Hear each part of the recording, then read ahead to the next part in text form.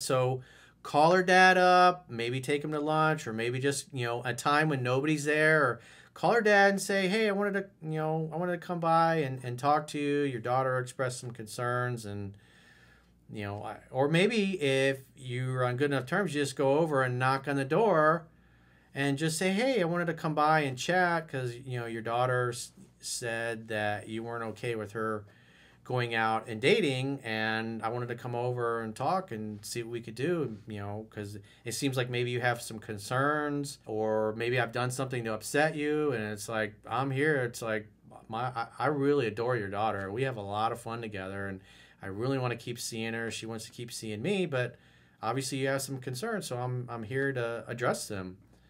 And it's like and plus you know it's like you and my dad have been you know good friends since high school and so I don't want to disappoint you. I don't want to, dis- especially don't want to disappoint my dad.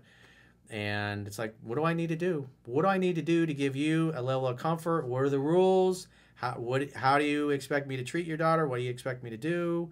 Should I call you every time we're gonna go out?